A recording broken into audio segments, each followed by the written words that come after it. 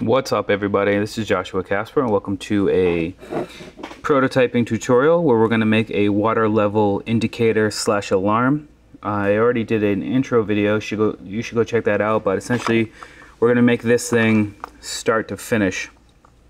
And uh, we use these, or I made this because here in Brazil there's a water tank on top of the house and we don't know when it's about to be full and then we just have to wait till it's overflowing because the pump doesn't have a mechanism to stop automatically. So once the water's overflowing, we shut the pump off and uh, that wastes a lot of water. So I figured why not put a simple circuit up there and we can turn it on and off and see when it's about to overflow so we can stop the pump before the water overflows and save some water. Uh, it's really simple to make and it's and it works pretty well. I demonstrated the final prototype here in the in the intro video. But today I'm going to show you how to set it out or lay it out on the breadboard and then in the next tutorial we're going to go ahead and actually put it on perf board to make it um, more of a permanent installation and we're going to put it inside uh, the soap container that I have here. It's real cheap. But uh, anyway, the things you're going to need are some 220 or 330 ohm resistors. I'm using a 220 here. And you're going to need as many of those as LEDs that you want or indicators that you want.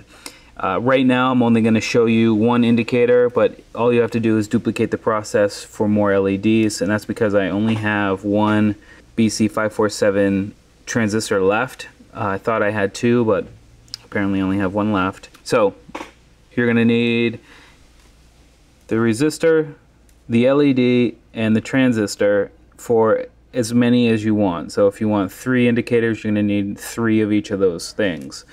And I also have a buzzer, and the buzzer I would put on the final prototype here, I put it connected to right when the water is going to be uh, overflowing. So it's going to be connected to the red LED. So what I'm going to do is show you how to set up the circuit with just one LED. So I'm going to put it on the uh, breadboard here, the transistor. And then I'm going to connect the positive leg of the LED to the transmitter, I think it's called, pin, which is the final pin over here on the right. And that's with the flat side facing me right now. So you're going to need to make sure that's happening. That's the way it is. And the re uh, resistor, I'm going to put on the first pin and I'm going to connect it to the power source which on the breadboard is going to be this red power line. And if I wanted to now I would connect the negative or ground pin of the LED to the ground source which is going to be this blue line on the breadboard. And the next thing I would need to do is have a power line going into the bucket of water, which is going to be this green wire. I'm going to put that into the power line over here. And then what I would do is just take that and put it at the bottom of whatever bucket um, I'm going to be using for the uh, to hold water. And then the next thing I need to do is take the yellow wire and connect it to the base of the transistor which is the middle pin. And then this wire I would connect to whatever level I want to be uh, shown. When it's say it's midway I would connect it to midway down the the bucket here. And then that light will light up when the water gets to that level. So we can go ahead and try, try this out real quick. So as you can see the green wires at the bottom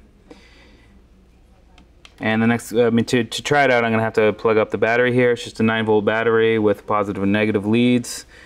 Uh, I'm to put the negative in the negative.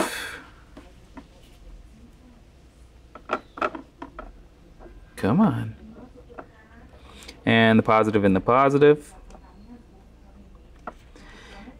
And the next thing I can do is just put this wire into about here and then fill it up with water and see if that LED lights up. Hopefully you can see the LED here. So here we go, I'm gonna fill it up with water and boom, it's lit up. So that's telling me that the water level is finally reached the point at which I set by this yellow wire. And if it was up higher, it wouldn't light up. You see what I'm saying? Pretty sweet. Um, if we wanted to add a buzzer now to it, I've got a 9 volt buzzer here. You can use a 6 volt. I use the 6 volt in the final product because it, it comes out louder when we're using the 9 volt battery. But you can also use a 12 volt. The pitches and the intensity is just a little different. But just like the LED, there's a positive and negative lead here. So I'm going to take the positive and put that to the emitter, which is going to be the same uh, leg of the transistor that we put the LED, positive LED. And then I'm just going to connect that to another row on the breadboard like that. And then the, the, last thing I need to do is take a ground and just like I did with the ground for the LED, I need to ground the uh, the buzzer. So I'm going to take that, put that here, and take this, and put that into the ground lane. Okay, and I'm going to connect my battery again. And if I put the, the yellow wire back into the water, now we got sound and light to indicate to us that the water level is wherever we set it to be. Now, you can duplicate that process as many times as you want. For example, um, I'll show you if we if we pretend that this is another 547 transistor, it's not. I'm not going to hook it up, but I'm not going to hook it up or anything, but um, we would do the same thing. We would put another LED to the positive, again to the emitter, which is that far right pin, and then we would connect that to the ground.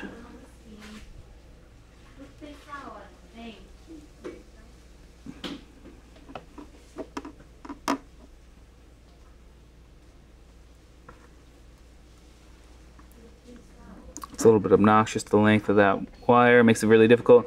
If you're in the United States, if you're in Europe, there are jumper wires, they're called, which are, which are specifically for breadboards, which have just one solid piece you can stick in. One solid piece, one solid lead, it's called. So anyway, like I said, put the ground of the LED to the ground line of the breadboard or whatever. There you go. And you would do the same thing with your resistor. You would put it to the power line. Like so. And then you would take your second indicator wire, connect it to whatever you want, maybe midway up the the uh, maybe midway up the container, and you would connect that to the base of the transistor, which is the middle pin. There you go. And then that would work the same way as the other one. That was that would be all you needed to do. And you can duplicate that as many times as you want as long as you have that uh, 547 transistor. And that's it. That's how you do it. That's how you prototype it on the breadboard. And in the next tutorial, I'm going to go buy another transistor and we're actually going to go ahead and hook it up on perf board and solder all the parts together and make it look pretty. Anyway, we'll see you next time. Peace.